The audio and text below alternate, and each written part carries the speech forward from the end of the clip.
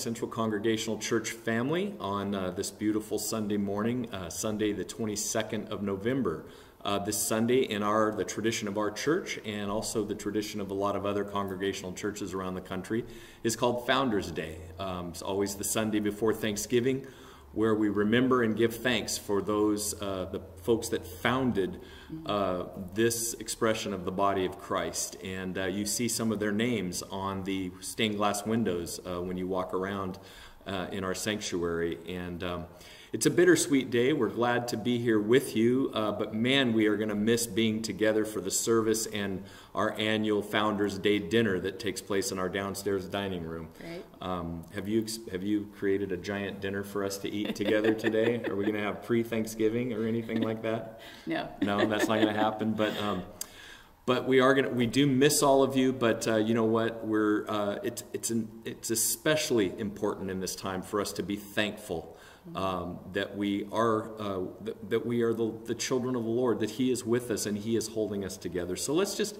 enter into the spirit of the grace and the goodness of God as we reflect on those who have gone before us. Um, I want to say thank you to Joan for her beautiful prelude, kicking us off uh, each week or most weeks. Um, she just does such a wonderful job. We're we're grateful for her. And um, we just have one birthday this week, um, and uh, it's a very special one uh, to us. Uh, Tasha Meredith uh, has a birthday this week on Thanksgiving Day. And Tasha, we want to say how thankful we are for you and for your family. Uh, I'm personally grateful for the privilege of working with you here at the church on a daily basis. Uh, you're just a wonderful young lady. You're a great mom, and um, just doing a great job in your family and you're doing a great job in the way you serve our church congregation. So uh, we together want to wish you a very, very happy birthday and we hope that you get to celebrate. Uh, uh, you know that you get to celebrate your birthday as well as Thanksgiving, and uh, have a great day in that. Um, just a few announcements uh, as we keep going here uh, the uh, couple of opportunities we have to reach out into our community uh, in partnership with the Kroc Center, the Salvation Army Kroc Center. Uh, Angel Tree is one of those. You should have received an email from Kelly McGee about how you could uh, get some angels, the little tags, and buy some gifts for children that will eventually be distributed through the Salvation Army Kroc Center Toy and Joy Center, where parents that just don't have the means right now can come and go shopping for their children. Um, so if you, uh, you, you should already be aware of this. If you're not and you want to participate, please reach out to the church office and we'll get you connected. You can email Tasha at tasha at ccclamesa.com and we'll uh, get that information to you. And on that same note, uh, we still need a few people to sign up to serve at the Toy and Joy Shop on uh, Friday, December 18th uh, from 1 p.m. to 6 p.m., uh, where we will help, help the families and help distribute the gifts uh, it will be done safely with masks and distance and all of those kind of things. Um, and we've already got a few volunteers, but we could use a couple more. Uh, we've made a commitment to have five people um, from our church uh, volunteer there. So if you'd like to do that again, reach out to the church office, and we'd love to sign you up for that. And hopefully this week you have already received your copy of the uh, special holiday newsletter. Um, and if you haven't, please reach out to Tasha at the church office and she will either email that to you or if you'd prefer a hard copy, she would be glad to put one in the mail to you. And man, I'm going to cry. Gonna... we haven't had church now unless Rhonda's cried. No, go uh, COVID has just kind of wrecked me, but um, what a meaningful publication and yeah. such an encouragement to read the stories um, of our, our members of our church uh, family that have shared and the, the grace and gratitude um, that we have uh, experienced here mm-hmm. at CCC. So please take time to read that, and I hope that um, your heart will be touched as mine is. Absolutely. And, and then the other item is that we have the ongoing food drive to support the La Mesa Spring Valley families within the La Mesa Spring Valley School District. And um, I know that during the um, uh, upcoming holidays like Thanksgiving week um, and the Christmas break that will be coming. They'll be out of school for um, two weeks at Christmas. Um, that there will not be food distributed through the school district. Mm-hmm. And so some of those families are going to be impacted by that and needing extra help and support. And so um, the food bank at uh, Spring Valley Academy um, is a resource for them. And so we have been, uh, because of your generosity, able to keep uh, helping them with supplies. And we want to keep doing that as long as they're open and um, supporting these families. So if you'd like to participate in that, uh, there are regular office hours that you can uh, drop food off, non-perishable types of food. And um, uh, if you those hours don't work for you, you can reach out to the office and they can make an arrangement for you to um, drop it off, or if need be, Scott and I to pick it up from you. Absolutely. Thank you, thank you so much. Um, just a couple more announcements. Uh, again, want to just remind you of the other ways we can connect virtually throughout the week. Um, every Tuesday, uh, when I don't forget and when the technology doesn't get in the way, I'm trying to do every Tuesday at 10:30. Uh, 10:30 in the morning, uh, quarantine encouragement that you can uh, log into YouTube and watch. Um, and then also we have our Sunday morning Bible study Zoom at 9:45 each Sunday morning, and our Wednesday evening uh, Bible. It's really more devotional Bible reading and prayer, and that's been going really well. Would encourage you to try to connect to any or all of those that you're able to. Again, if the technology is a little intimidating to you, it's really not that hard, and we'd love to help you get connected if you want to. So don't be afraid to uh, don't be afraid to reach out and ask for help.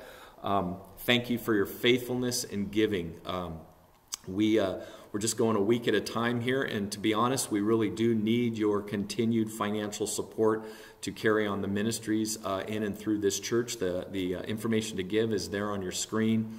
Uh, as together, we uh, do our part to support uh, the ongoing work of, or really the ongoing work of the Lord uh, what He's doing in this place and through this place, in our community and around the world, even. So, and I want to share just a brief story, real uh, a brief, real fast. I guess that's redundant.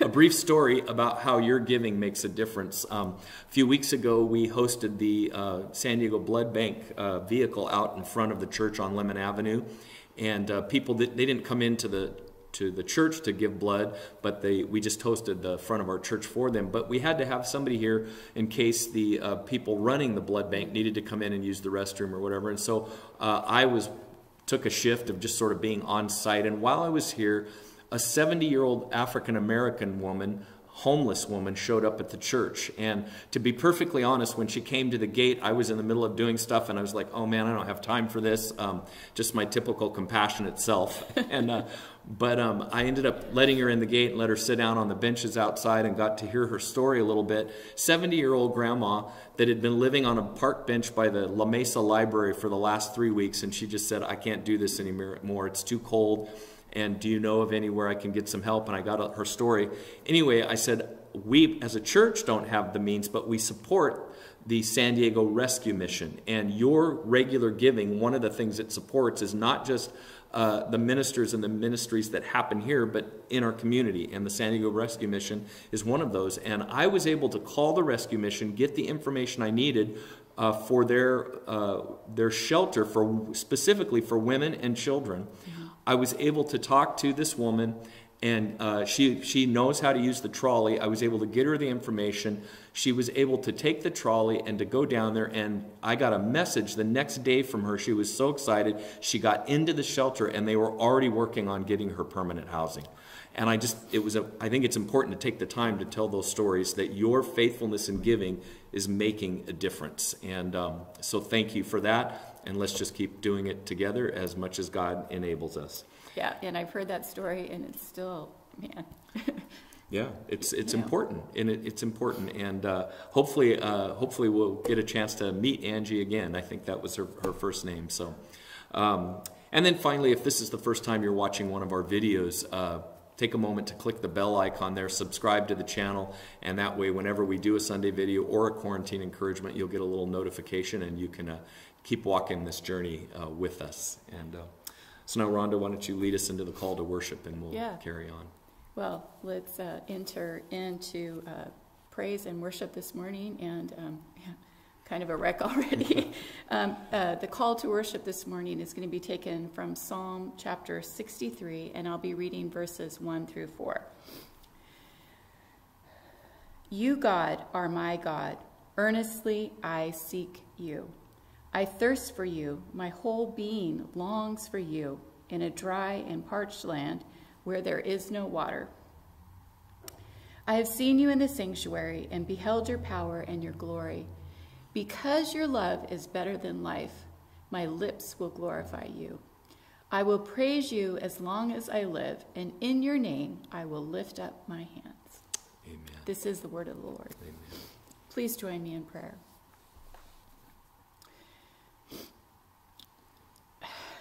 God, we just want to praise you this morning. I'm just thankful for this opportunity that we have to gather together um, as the body of Christ, God. And even though it's virtually, um, I just know that our hearts are connected because of you, God, and that you are with us um, as we are individually in our homes. Um, your presence is with us collectively, and we can worship you in um, togetherness, God. And I'm just so grateful for that. And I want to proclaim your name today. May you be glorified in our praise and our worship. May our words and our actions honor you. And as we do that, God, may our hearts be encouraged today. Yes, Lord. Thank you for your love and your kindness towards us and your great work among, among us. We just love you and we thank you in the name of Jesus Christ, who taught us how to pray, saying, Our, Our Father, who art in heaven, hallowed be thy name. Thy kingdom. Come, thy will be done on earth as it is in heaven. Give us this day our daily bread, and forgive us our debts as we forgive our debtors. And lead us not into temptation, but deliver us from evil. For thine is the kingdom, and the power, and the glory forever. Amen. Amen. Thank you, Rhonda. Well, we're going to enter into a time of worship. We're going to start with a hymn, and on this uh, Founders Day, Thanksgiving Sunday, uh, we're going to sing uh, number 98 Great is Thy Faithfulness. And um, I, I've been having a lot of fun, to be honest, just singing these hymns with Joan and this beautiful thousand pipe pipe organ. Um, I don't know how well that comes through in your house, but I would just encourage you to hopefully you got the words and you can enter in with the hymn and in the worship choruses uh, after that. So let's worship together.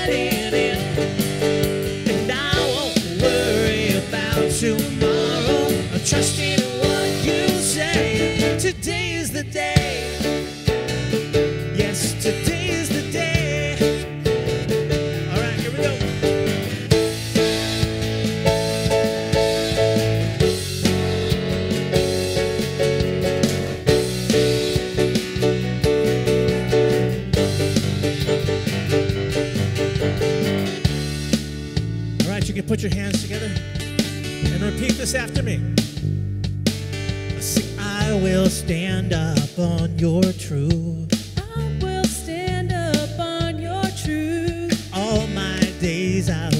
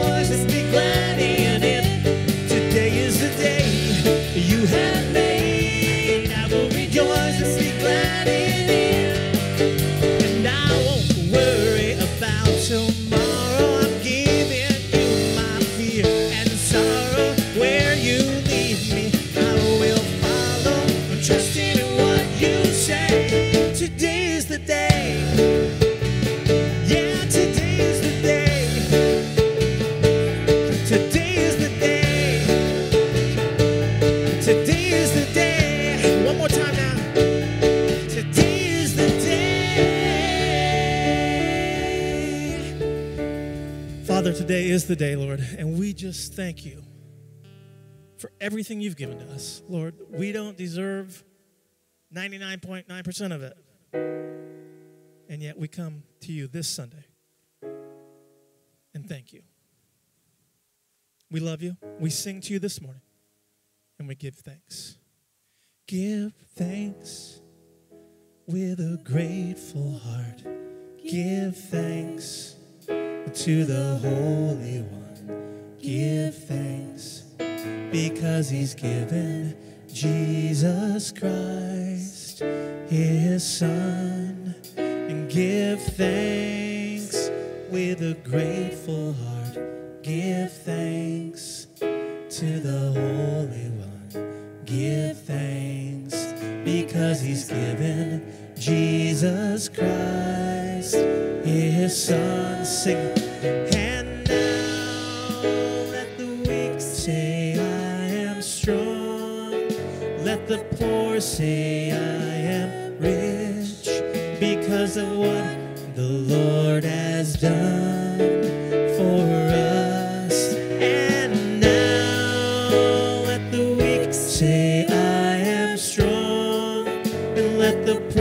say, I am rich because of what the Lord has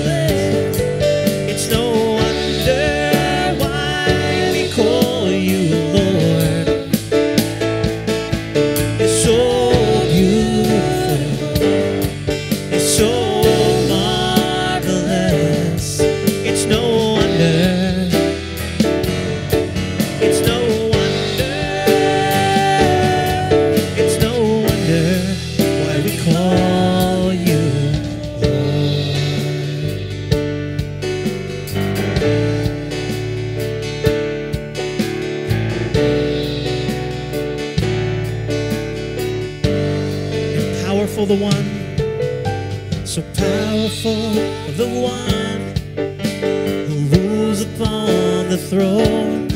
He's so marvelous indeed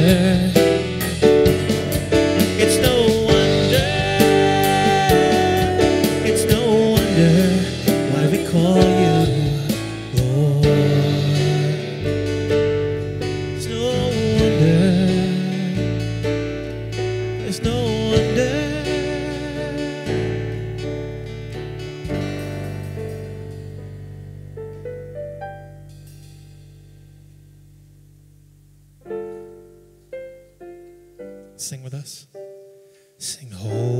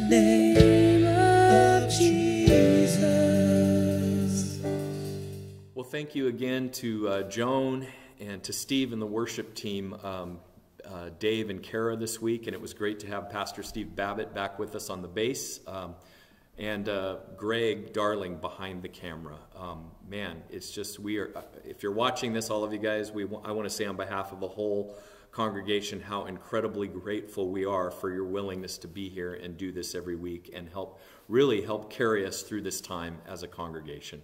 So God bless you all. Uh, before we look into the word this morning on this Founders Day, uh, let's take a moment in silent prayer uh, just to prepare our hearts to receive from the Lord and to uh, lift up uh, our concerns and our needs to Him. Uh, and the, being encouraged that the Bible says God obviously knows our needs even before we ask. And I just want to remind us again that we're not reminding God of anything He doesn't know or telling Him anything He doesn't know. Uh, when we bring our needs to the Lord, it's a way of unburdening ourselves. It's a way of saying, God, I can't carry this on my own. I can't figure this out. I don't have the answer, but I know you can and you do. So, um, and as we do that, obviously we want to keep praying uh, for uh, our country in particular and the world in general in regard to the pandemic. Uh, and it's just so unfortunate that in the United States of America right now, it just seems to be completely out of control. And I would just urge us to do our part to try to do what we can to make sure that we're not being uh, a part of that uh, spreading process. I know we don't have complete control in that, but we have some. So let's try to be good neighbors uh, and love our neighbors as ourselves in that way, as Jesus has taught us. And then also just praying in regard to the political situation. And I won't get into the details of that, but I would just encourage us as Christ followers who believe that more, way beyond any political party or country or earthly leader, we have pledged our allegiance to Jesus Christ, the risen Son of God, the, uh, the living Savior, and the true King and the coming King. Let's seek Him and let's pray, uh, let's worship Him, and let's uh, cry out to Him on behalf of ourselves, our country, and our world. So let's take a few minute, moments and pray together.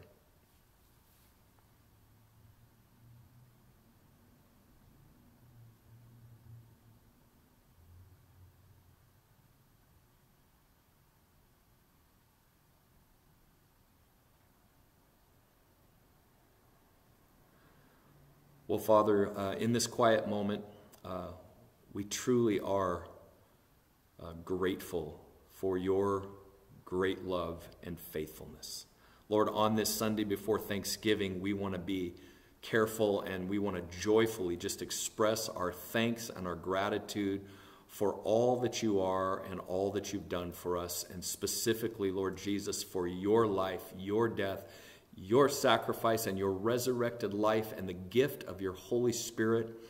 That through all that you've accomplished, you have redeemed us. You have bought us back from slavery to sin. Um, you have uh, you have brought us back into recon- you've reconciled us back into relationship with our Father, our heavenly Father. You've given us your Holy Spirit. Uh, you've given us hope for this life and life to come, and you've given us purpose for this life and the life to come. And we just want to say thank you for all of that.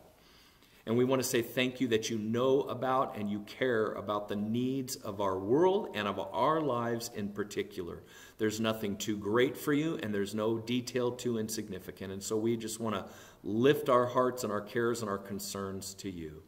And Lord, especially at this time, we would just continue to cry out for mercy in regard uh, to this COVID 19 pandemic, Lord, that is affecting us greatly and the world still. Uh, we thank you for the good news on the horizon of vaccines that looks like look like they're coming available, but we know there's still a long road to go. So uh, help us be careful, help us be thoughtful, um, and, and just have mercy, we pray in the name of Jesus. And then, Lord, for our country in particular, in this politically uh, uh, char- charged moment, we would just pray for peace. We would pray for wisdom. We would pray for uh, the, that the, the people would make the right decisions and the right choices, and we could have a peaceful transfer of power.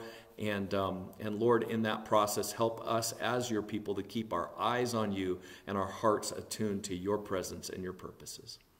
And now, Lord, as we take a few moments to look into your word, I pray that you would give us ears to hear, that you'd give us minds to understand, and you would give us hearts that are ready to receive and willing to obey.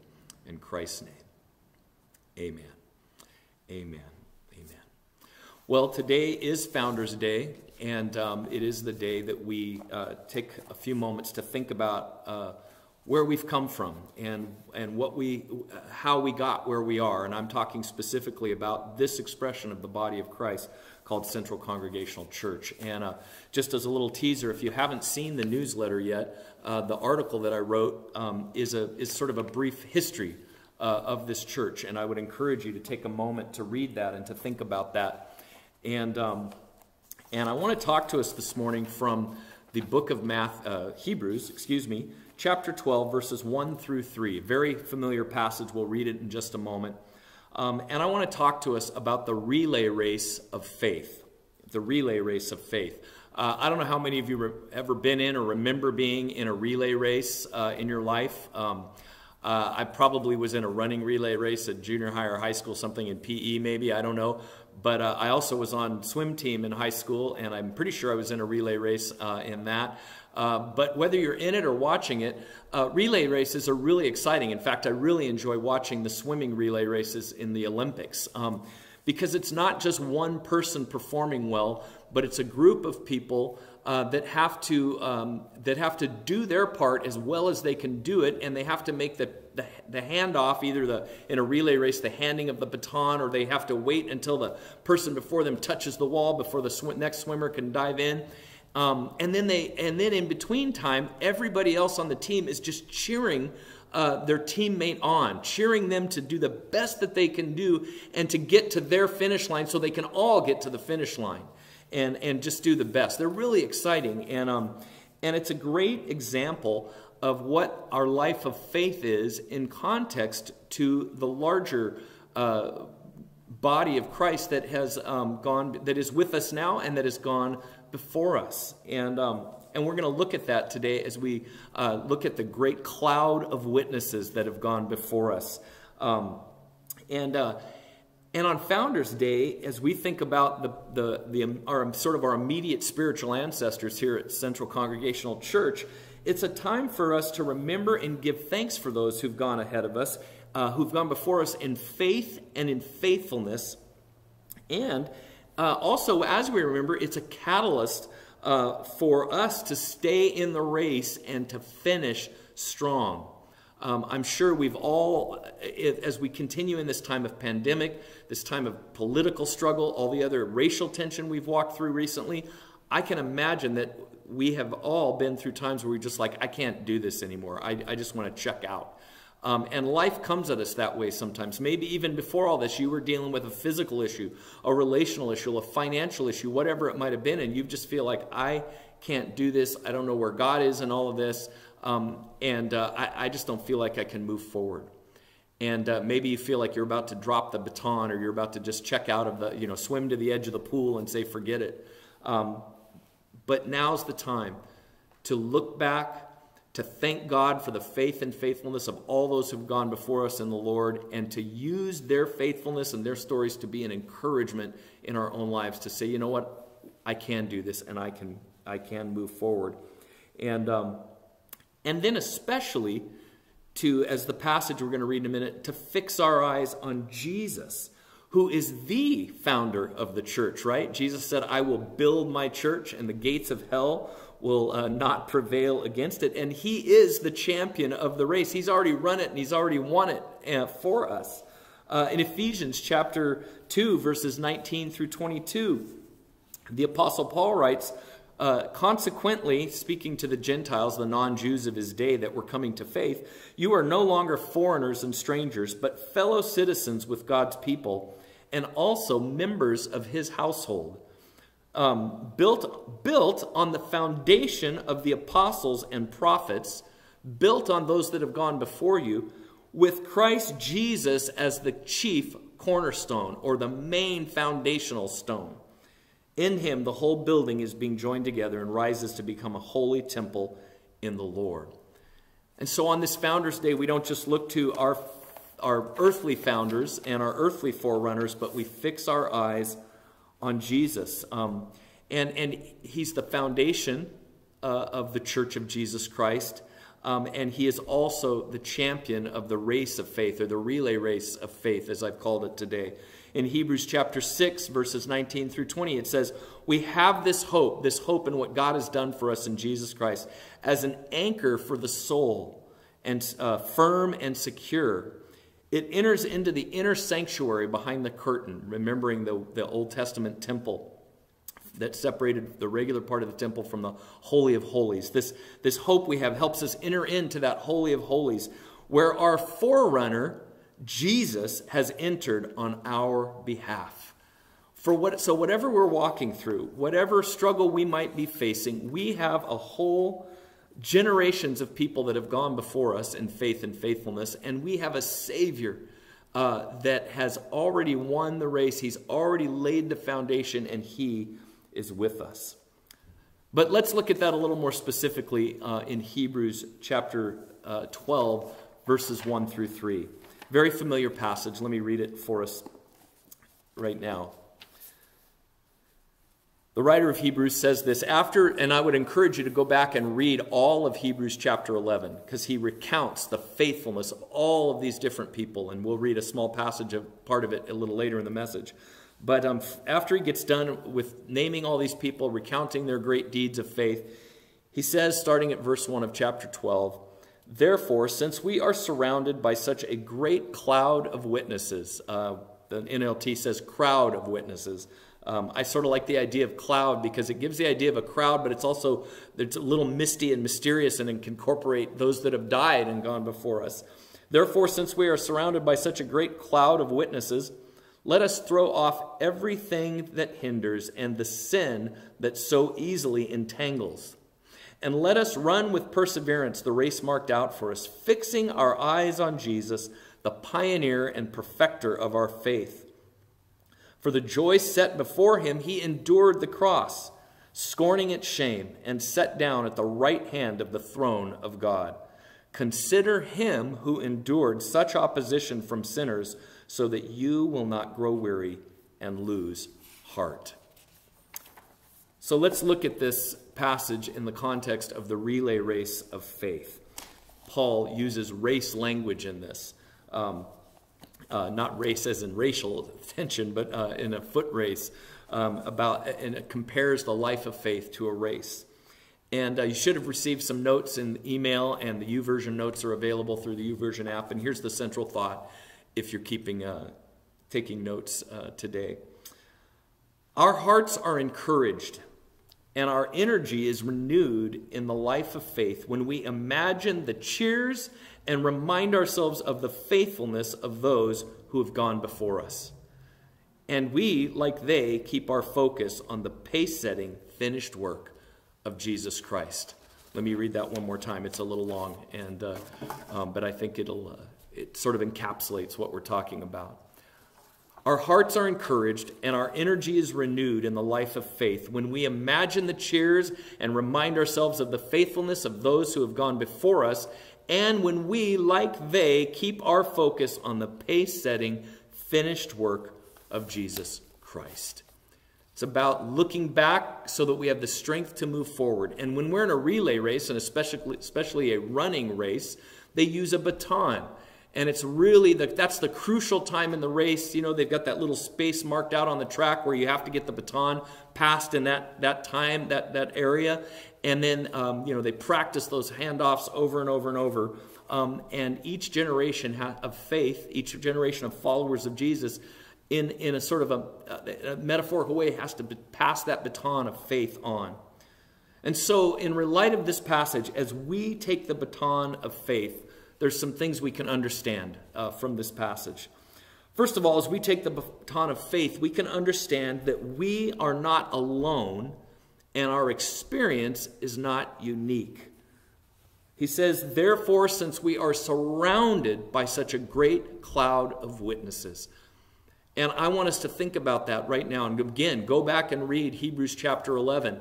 Think about the people that have gone before you in faith, and people in your family, uh, maybe somebody that led you to the Lord, even people that are still alive today that are that are that cloud and crowd of witnesses that are behind, with you, cheering you on, providing examples, providing encouragement to you.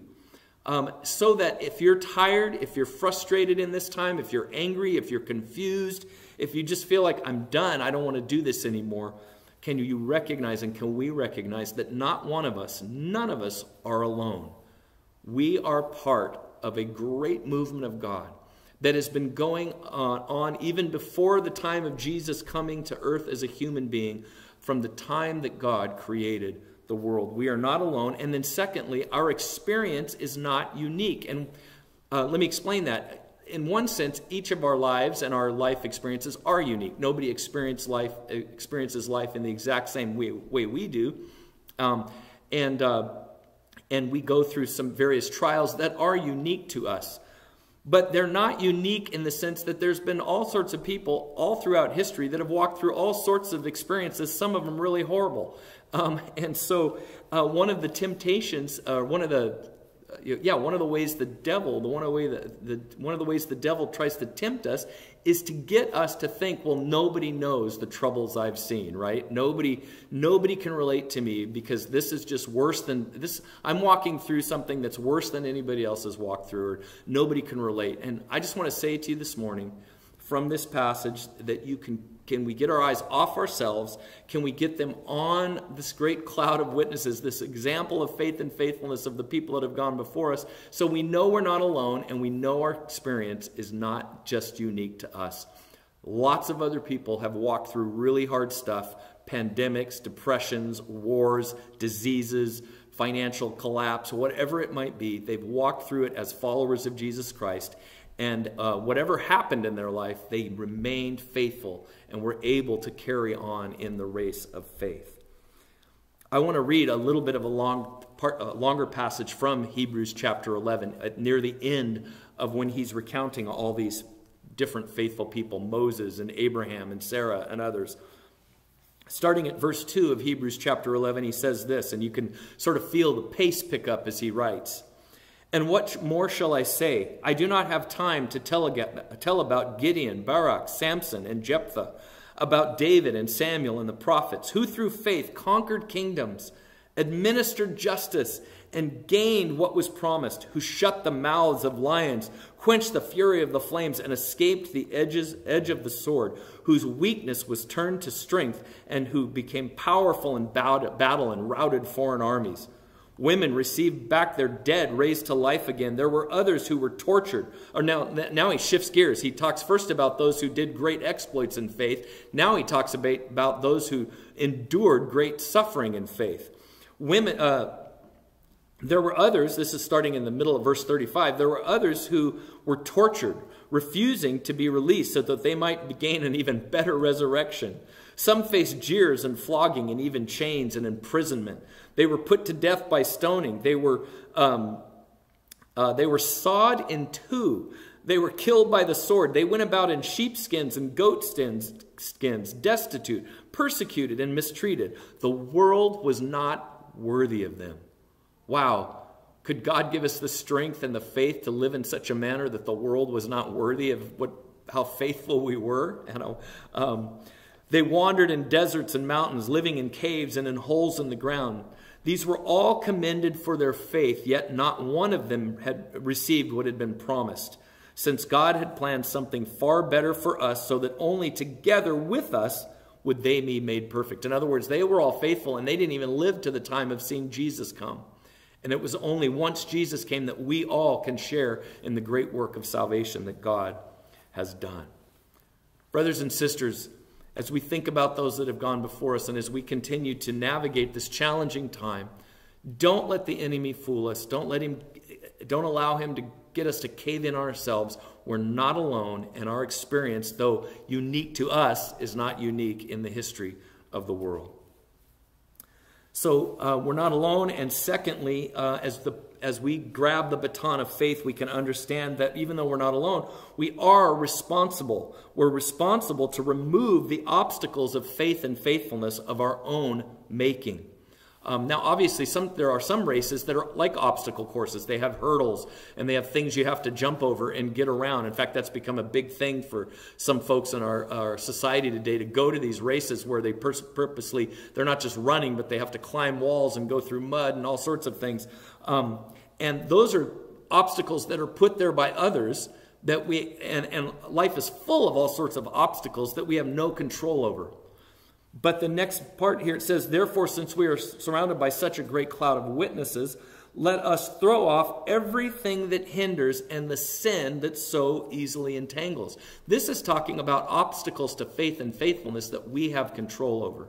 The things we think about, the behaviors we engage in, the relationships we pursue, how we spend our time, and how we spend our money. Um, there's all sorts of things that we do have control of, and there's all sorts of ways that things that we engage in that we don't even realize what a detriment they are to our faith at times.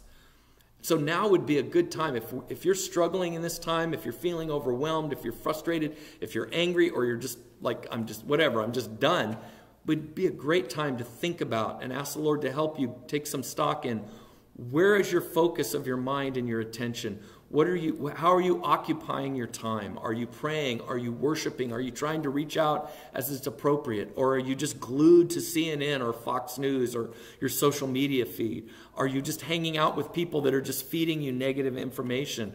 Are you feeding your addictions? And we all have our addictions of some one sort or another. But it says, as we consider this great cloud of witnesses um, and their faithfulness, it should be a catalyst for us to take stock of our own lives and say, all right, I'm in a race of faith. I'm in a race for my life. I'm in a race for eternity, and I've got a bunch of dead weight on me that's holding me back, and ask God to help us get rid of that. Um, Romans chapter 12, verse 1 and 2, we read it a couple weeks ago, I think. The Apostle Paul says again, Therefore I urge you, brothers and sisters, in view of God's mercy. Now he's talking about not just in view of the faithfulness of others, but in view of what God has done for us to offer our very bodies as a living sacrifice and holy and pleasing to God. That is our true and proper worship, and to not be conformed to the pattern of this world, but to be transformed by the renewing of our minds.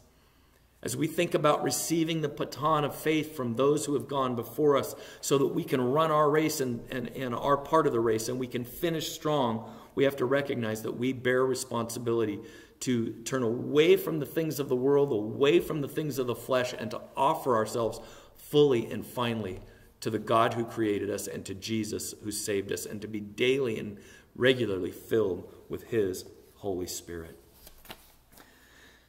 So, as we take that baton, we need to know we're not alone. We need to know that we're responsible to get ourselves in racing shape. Um, and, uh, and then, thirdly, we need to understand that we're in a marathon, not a sprint. and I think we know this, obviously, just by experience. Um, this is important for me because I've been pretty athletic most of my life. But um, if you know anything about muscles uh, and, and athletic, athletics, um, I, I, guess in your muscles there's sprint fiber and there's, I think, called endurance fiber. Um, and it's, you know, typical that people that are more sprinters and long and people that are more long distance runners or swimmers, the very tone of their muscles is different. Well, every part of my being is sprint fiber. when I was on swim team in high school, which I was only on so I could play water polo during water polo season, I got really frustrated at the swim meets because I was just a sprinter. I swam the 50 and the 100. And so in a four hour swim meet, I was in the water for like, like three minutes. and then I just got to sit around and cheer everybody else on.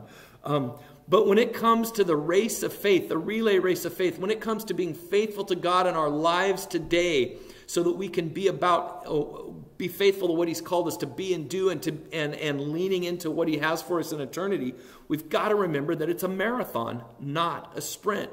Um, and if we go at it too hard and too hot and too heavy too fast, we're going to get burnt out. Or if things don't go the way we planned, if we don't feel like God answered some prayers the way we thought He should, uh, we might just wipe our hands and say, well, forget it. But he says in this, since we're surrounded by such a great crowd of witnesses, let us throw off everything that hinders and the sin so, that so easily tangles, and let us run with perseverance the race marked out for us. It takes patience, it takes perseverance, it takes stick to itiveness. Um, Jesus has not called us to an easy life. Jesus isn't here to pamper us and coddle us and just make us feel good. Jesus has called us to a life of faith and faithfulness. He's called us into the kingdom of God that is in direct opposition to the kingdoms of this world. And until we get to the other side, until He comes to make all things new, or we pass away and enter into the rest of our salvation until He comes, um, it's a battle. It's a struggle. It's sort of like Thunderdome. It's a race, but it's a race where people are trying to kill us and throw us off the course. Um, Listen to what the Apostle Paul says uh, in Philippians chapter 3, verses 12 through 14, another very familiar passage. He's just talking about um, how any, any credit he might get uh, as a faithful person or whatever, he, he just, or anything he's accomplished in life compared to what God's done for him, it doesn't mean anything. Um, and then he says in verse 12, Not that I have already obtained all this, all the things that God has called me to, not that he's, he's as faithful as he should be, not that I've already obtained all this or have already arrived at my goal, but I press on to take hold of that for which Christ Jesus took hold of me. Brothers and sisters, I do not consider myself yet to have taken hold of it, but one thing I do, forgetting what is behind and straining toward what is ahead. I press on toward the goal to win the prize for which God has called me heavenward in Christ Jesus. Man, that's such a beautiful, uh, vivid passage. Paul says there's all sorts of things holding me back, and, but I know what the goal is, and I know this is, I've got the baton, and it's my time. And I haven't finished the race. I haven't got it all figured out. I've made some mistakes, but I'm not going to, I'm, I may have tripped over a hurdle or two, but I'm not going to stop and go, oh man, I can't believe that. I, I shouldn't even run anymore. Who am I? I'm no good. I'll never finish. He says, no, forgetting what is behind and straining toward what is ahead. Uh, I, uh, I press on toward the goal to win the prize for which God has called me heavenward in Christ Jesus. Can I just remind us, brothers and sisters, we are in this race for the prize of, of the eternal kingdom of God, of being with, with God uh, and with everyone that's ever called on Him, all the faithful th- in, into eternity. And it is a prize, it is a goal that is, is greater and more beautiful and wonderful than we can even imagine. And it's worth every ounce of energy, it's worth every drop of blood, it's worth every sleepless night, whatever, it's worth it to stay in it. And we have a whole history of people that have gone before us and have hung in there.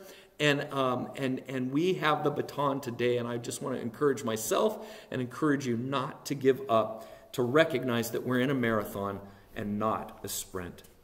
But then, fully, uh, finally, it says, um, uh, let us run, this is uh, part of verse 1 still, and let us run with perseverance the race marked out for us, fixing our eyes on Jesus, the pioneer and the perfecter of our faith. You know, when you, when you run, when you swim, you need to have a goal in mind. You need to have somewhere to fix your attention. Um, I still swim as a form of exercise. Um, and especially, I do the backstroke a little bit. And it's really easy to start bumping into the lane lines when you do backstroke. And the way that you don't do that is you pick a point to stare at that's in the center of the lane. And usually it's the flags that go across the pool. And you keep your eyes on those flags while you're doing that. And if you do that, you really pretty much go in a straight line. And as soon as you get off of that, and I've done this many times, the next thing you know, your arm is coming down and it's flailing across the lane line, and uh, you uh, feel very foolish and you lose all your energy because you sort of got to start swimming again. Um, when the baton gets passed to us, we need to recognize that we have a forerunner in Jesus Christ that has finished the race already and has won the victory. This is we're not in a race where there's any doubt about how it's going to end. We're not in a race where, the, where we have to wring our hands and like, oh my, oh my goodness, who's going to win this? The race has already be, been won. It's just a matter of whether we're going to enter in and run our part of the race um, and, and be faithful in the time that we have. Excuse me just a moment. And, um, and so the writer of Hebrews says, as we're running with perseverance, as we're considering those that have gone before us, what is most important is that we fix our eyes on Jesus Christ, who is both the author and the perfecter of our faith, the beginning and the end. He's already done it all for us. And He is with us by His Holy Spirit. We are not alone because there are people that have gone before us, and we're not alone because God Himself, by His Spirit, is in us. He says, Fix our eyes on Jesus, the pioneer and the perfecter of our faith, and listen to this who for the joy set before him endured the cross. So Jesus had a goal. He, he went to and through the cross because there was something beyond it that he had his eyes fixed on, that he had his heart set on, that made it worth all that suffering. And do you know that what, what that was? That was, that was first and foremost to be faithful to and accomplish the will of his Father.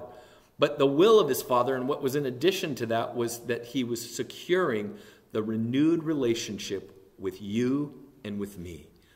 Jesus fixed his eyes on the fact that, that, that what he was doing was going to secure our salvation. And it says, For that joy he endured the cross, scorning its shame, and he sat down at the right hand of the throne of God. And then the final verse, verse 3 So consider him who endured such opposition from sinners, so that you will not grow weary and lose heart. That takes us back to our first point. We're not alone, and our situation's not unique.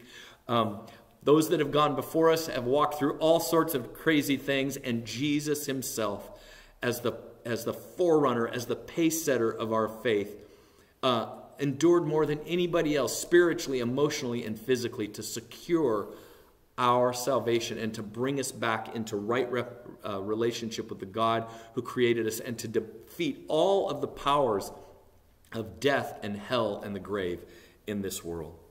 He is the forerunner that has finished the race and he has assured our victory, and we need to fix our eyes, and especially in this time of so much unknow- unknowing, so much conflict, so much fear, we need to get our eyes off of all of those things and we need to get them on to Jesus and on to those that have gone before us. Revelation chapter 5, verse 6 through 10 says this about Jesus, uh, the, the writer of Revelation, um, seeing uh, that Jesus came and took the scroll from, from, the, from God the Father, the scroll that was the that had written out all the outworking of the will of God that nobody could open, nobody was righteous enough to open it. And John's weeping and he's saying, Wait, the promises of God have stopped, they're stuck. But then it says, then he says, Then I saw a lamb, speaking of Jesus, looking at, at, as if it had been slain, standing at the center of the throne, encircled by the four living creatures and the elders. He went and took the scroll from the right hand of him who sat on the throne. And when he had taken it, the four living creatures and the 24 elders fell down before the Lamb, and they sang a new song, saying, You, speaking to Jesus, and of Jesus, you are worthy to take the scroll and to open its seals because you were slain, and with your blood you purchased for God persons from every tribe and language and people and nation. You have made them into a kingdom of priests to serve our God, and they will reign on earth. Jesus has gone before us. He has won the race. And so when we as we take the baton and we remember that we're not alone, we can we can discipline ourselves and we can say, God, would you help me to get rid of the, the things that are hindering me, the sin in my life that I'm allowing? Um, would you help me to persevere in all of that? Help me to keep my eyes on you so that I can keep going and I can be faithful and I can finish strong if we have that mindset and if we make prayer and worship uh, and, and, uh, um, and service and uh, scripture reading, uh, all of those things, if we make those a part of our life on a regular basis, there's no way we cannot finish strong. There, and there's nothing that we cannot survive. So, in the days ahead, when we don't know how this is all going to end, let's consider that great cloud of witnesses. Let's, in our church family, in Central Congregational Church, let's consider uh, the folks that have gone before us. Again, some of their names being right here. I can see them as I look around our sanctuary at the bottoms of the stained glass windows. Uh, one of them you'll read about in the newsletter. One family, uh, he was a medical missionary to China, um, and they lived through all sorts of challenging things. So we've been here before as a people of faith. Let's keep the faith and let's keep moving forward. Let's pray. Father, we thank you for your word. Lord Jesus, we thank you for your example, and we thank you so much for all of those that have gone before us. Help us do our part in our time, in our day, Um, forgive us for our faithlessness. Um, help us get over our uh, just the places where we feel like we want to give up, maybe the places where we've gotten focused on ourselves instead of on you, um, and um, help us uh, gain new energy, new life, new hope in you, and help us uh, that are alive today to be an encouragement to one another. And we ask all this in the strong and faithful name of Jesus Christ. Amen. Amen. Well, it's been good to be together with you this morning as we're back at the church for the first time in a few weeks. And uh, hope this has been an encouragement to you. Go back, read chapter 11 and 12 together. It will really encourage you and challenge you uh, in your walk with the Lord. And until we see each other again, uh, may the grace of the Lord Jesus Christ, the love of God the Father, and the fellowship of the Holy Spirit be with you all. Amen.